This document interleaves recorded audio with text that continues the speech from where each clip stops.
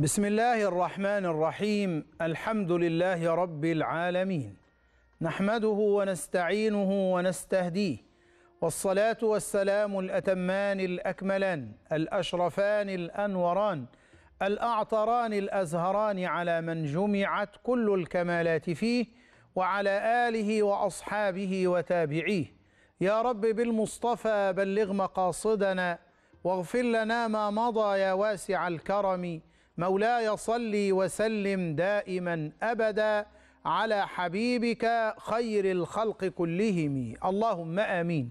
أما بعد مشاهدي الكرام سلام الله عليكم وتحياته ورحماته وبركاته. أهلا بحضراتكم معنا. نسأل الله جل وعلا أن يجعلنا وإياكم في هذه الأيام المباركة من الفائزين برضوانه اللهم آمين يا رب العالمين. يقول الله جل وعلا والفجر وليال عشر هذه الأيام المباركة وهذه الليالي المباركة العشر الأول من ذي الحجة. قال العلماء أن نهار العشر الأول من ذي الحجة أفضل من نهار العشر الأواخر من رمضان. ليه؟ لأن فيها يوم عرفة وليل العشر الأواخر من رمضان أفضل من ليل العشر الأوائل من ذي الحجة. ليه؟ لأن فيها ليلة القدر. يعني لو عملنا مقارنة بين العشر الأوائل من ذي الحجة والعشر الأواخر من رمضان أيهما أفضل؟ قالوا العلماء نهار العشر الأوائل من ذي الحجة أفضل من نهار العشر الأواخر من رمضان ليه؟ لأن نهار العشر الأوائل من ذي الحجة فيها يوم عرفة وهو خير يوم طلعت عليه الشمس وما من يوم أكثر من أن يعتق الله فيه عبدا من النار من يوم عرفة يوم مبارك. ونزلت فيه الآية اليوم أكملت لكم دينكم وأتممت عليكم نعمتي ورضيت لكم الإسلام دينا. طب وليل العشر الأواخر من رمضان أفضل من ليل العشر الأوائل من ذي الحجة. ليه؟ لأن فيها ليلة القدر. ليلة القدر خير من ألف شهر. تنزل الملائكة والروح فيها بإذن ربهم من كل أمر. سلام هي حتى مطلع الفجر. يبقى ناخد بالنا إن ربنا لا يقسم إلا بعظيم لعظم هذه الأيام أقسم بها والفجر وليال عشر. هنيئا لمن لبس الإحرام في هذه الأيام. هنيئا لمن ذهب لحج بيت الله الحرام. هنيئا لمن طاف بالكعبة المشرفة وسعى بين الصفا والمروة هنيئا لمن وقف بعرفة وبات بمنى ورمى الجمرات هنيئا ثم هنيئا لوفد الله من الحجاج والمعتمرين هنيئا لهم الزيارة وتقبل الله منهم الحج والعمرة. أيام مباركة. قال عنها صلى الله عليه وسلم ما من أيام العمل الصالح فيها أحب إلى الله عز وجل من هذه الأيام العشر. فالصحابة بيسألوا سيدنا النبي عن كل حاجة قالوا ولا الجهاد يا رسول الله؟ طب الجهاد في سبيل قال ولا الجهاد إلا رجل خرج يخاطر بنفسه وماله فلم يرجع من ذلك بشيء. يعني هذه الأيام العمل الصالح فيها أفضل من الجهاد في سبيل الله.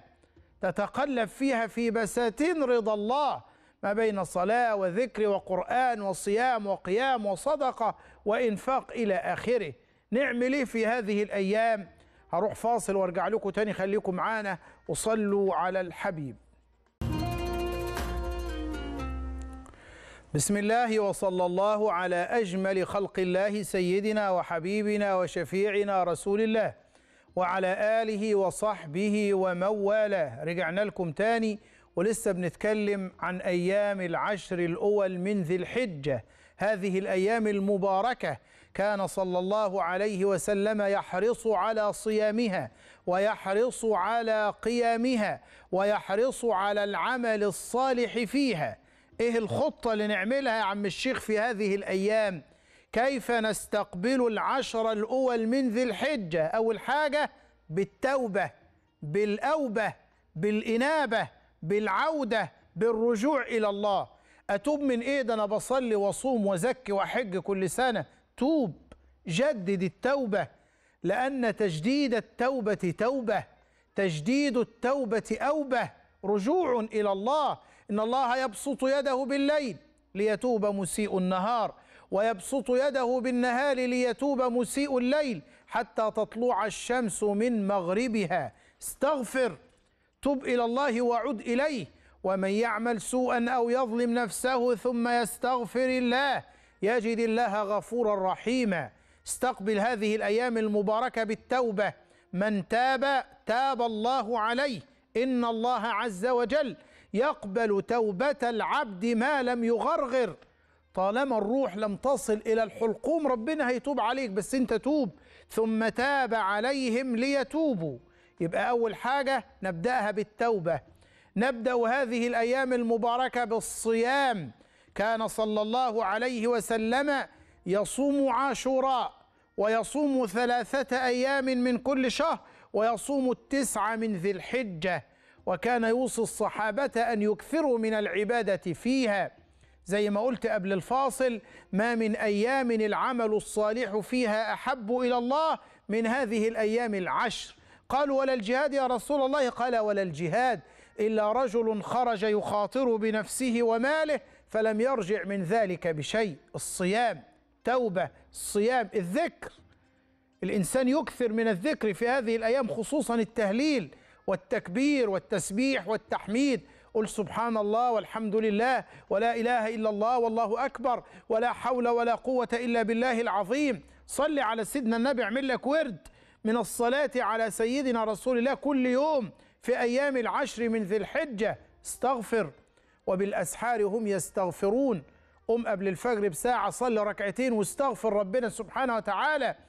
وفي في هذا الوقت المبارك وقت السحر. تسحر فإن في السحور بركة كما قال صلى الله عليه وسلم صيام بالنهار وقيام بالليل تهجد بين يدي الله جل وعلا الاستغفار بالأسحار ركعتين بدمعتين في آخر الليل يقضي الله لك بها الحوائج نامت العيون وهجعت الجفون وسبحان الحي الذي لا يموت سبحانه وتعالى بيناديك بالليل هل من تائب؟ هل من مستغفر؟ هل من سائل؟ هل من داع؟ هل من كذا؟ هل من كذا؟ نادى وقد نزل الدنيا بلا شبه سبحانه عن صفات الخلق كلهم. يا راغب النعم يا راهب النقم يا سائلا كرمي ينهل كالديم إلي ولي وعن غيري تولى وكن عبدي. أصير لك الدنيا من الخدم. صل الفجر جماعة في المسجد. واجلس من بعد صلاة الفجر إلى صلاة الضحى. اللي يعمل كده من جلس في مصلاه من بعد الفجر حتى يصلي الضحى فله أجر حجة وعمرة تامة تامة. لك ثواب حجة وعمرة لو عملت هذا وجلست في المصلى إلى طلوع الشمس ثم صليت الضحى. كذلك احرص في هذه الأيام المباركة على الإنفاق على الصدقة. أدخل الفرحة والسرور على قلوب الفقراء واليتامى والأرامل والمساكين فأسعد الناس من أسعد الناس. فرج الكروبات عن الناس في هذه الأيام. كان هارون الرشيد يحج سنة ويتصدق بنفقة الحج سنة. شوف الناس اللي محتاجة ساعدهم. شوف الأرامل شوف اليتامى شوف اللي عليه ديون. العيد داخل على الناس. وسع على الناس في هذه الأيام عشان ربنا يوسع عليك. فرج الكروبات عن الناس عشان ربنا يفرج عنك كروبات الدنيا والآخرة. من نفس عن مؤمن كربة من كربات الدنيا نفس الله عنه كربة من كربات يوم القيامة. ومن يسر على معسر في الدنيا يسر الله عليه في الدنيا والآخرة. ومن ستر مسلما في الدنيا ستره الله في الدنيا والآخرة والله في عون العبد ما كان العبد في عون أخيه. أيام مباركة نقبل فيها على الله جل وعلا زي ما قلت بالصيام بالقيام بالنفقة بالذكر بالتسبيح بالتحميد بالتهليل بالتكبير بالاستغفار بالصلاة على سيدنا النبي صلى الله عليه وسلم بتفريج الكروبات عن الناس بالجلوس في المصلى ما بين الفجر لصلاة الضحى بالصيام كل دي أعمال خير نقبل على الله جل وعلا بهذه الأعمال. نسأله سبحانه أن يتقبل منا ومنكم صالح الأعمال. اللهم آمين. هروح فاصل وأرجع لحضراتكم تاني. خليكم معانا وصلوا على الحبيب. بسم الله وصلى الله على أسعد خلق الله سيدنا وحبيبنا وشفيعنا رسول الله. وعلى آله وصحبه ومن والاه رجعنا لكم تاني وجينا للفقرة الفقهية. أسأل الله جل وعلا أن يفقهنا وإياكم في دينه وأن لا يخرج من ألسنتنا إلا ما يرضيه عنا. اللهم آمين يا رب العالمين. سؤال ورد إلينا يقول فيه أحد المشاهدين هل يشترط صيام الأيام التسع كاملة؟ أقول وبالله التوفيق ومنه العون والمدد والسداد والرشد. إن الأحاديث التي وردت عن سيدنا رسول الله أن العمل الصالح فيها محبب إلى الله. ما من أيام العمل الصالح فيها أحب إلى الله من هذه الأيام العشر عشر ذي الحجة. من يوم واحد ليوم عشرة ذي الحجة. يوم العيد بتفطر وبتنحر الأضحية أو بتذبح الأضحية أو الحجاج بينحر الهدي. طيب أنا يا عم الشيخ ممكن أصوم اتنين وخميس أو ممكن أصوم يوم عرفة لا يكلف الله نفسا إلا وسعها. لو تقدر تصوم من واحد لتسعة هذا خير وبركة. إن لم تستطع صم ما استطعت أن تصوم. ما يتيسر لك اثنين وخميس أو يوم عرفة لأن النبي سئل عن صوم يوم عرفة فقال يكفر السنة الماضية والسنة الباقية. على الأقل لا تترك صيام يوم عرفة. واحد مريض واحد تعبان تقدرش تصوم إلا يوم عرفة؟ احرص على صيامه لأن صيام يوم عرفة سنة مؤكدة عن سيدنا رسول الله إلا للحجاج. يكره صيام يوم عرفة للحجيج ليه؟ عشان يقدر يتقوى على العبادة وهو في الحج لأن الحج مشقة. عشان يتفرغ للعبادة وللطاعة وللذكر وللدعاء في يوم عرفة لا يصوم هذا اليوم. إنما الذين لم ييسر الله لهم الحج يصوم هذا اليوم المبارك. يبقى لا يشترط أبدا صيام التسع من ذي الحجة. ما استطعت أن تصوم منها فصم. تقدر تصوم التسعة كاملة خير وبركة. ما تقدرش تصومها كاملة صوم ثلاثة أيام صوم الاثنين والخميس صوم يوم عرفة. قال صلى الله عليه وسلم من صام يوما يوم واحد في سبيل الله باعد الله وجهه عن النار بذلك اليوم سبعين خريفا. يوم في سبيل الله صيام. ربنا يباعد بينك وبين النار سبعين سنة. يبقى الإنسان يحرص على صيام هذه الأيام إن كان مستطيعا لو هو مريض أو مسافر خلاص ما يصومش الأيام دي. إنما لو يقدر يصوم الأفضل أن يصوم لأنها أيام خير وبركة. وأما عن يوم عرفة فاحرص على صيامه لأن صيامه يكفر سنة ماضية وسنة باقية. سؤال تاني جنة بيقول لماذا الذي يضحي وهو ليس بين الحجاج لا يحلق شعر رأسه ولا لحيته ولا أظافره. أقول وبالله التوفيق ومنه العون والمدد والسداد والرشد أن من السنة أن من أراد الأضحية لما يجي يوم واحد ذي الحجة من الفجر خلاص لا يأخذ شيء لا من شعر رأسه ولا من لحيته ولا من أظافره. ليه يا عم الشيخ؟